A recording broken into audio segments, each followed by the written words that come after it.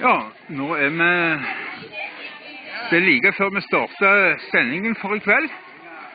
Bare tenkte at vi skulle ta en tur inn og vise noen av eh, de flotte pastoene som uh, står lagra her.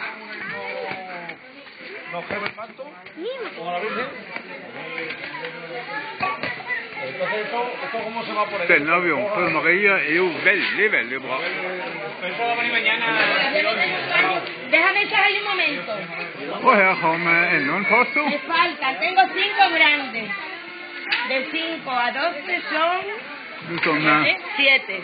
Yo lo puedo de gallina, que os Cuatro chicas que son dos grandes, ah. ¿cierto? ¿Sí? Her har vi de som steller pastoene.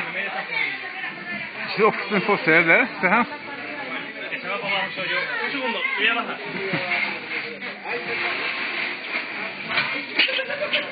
Det er klart pastorer trenger vedlikehold. Og det ser vi her i en ganske sjelden direktesending her på Spanianytt. Se her. Ja. La ves. Sí, sí.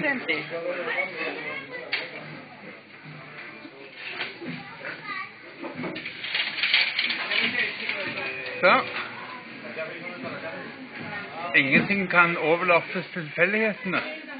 Det må jo nødvendigvis holdes rent og fint. Ja, veldig bra.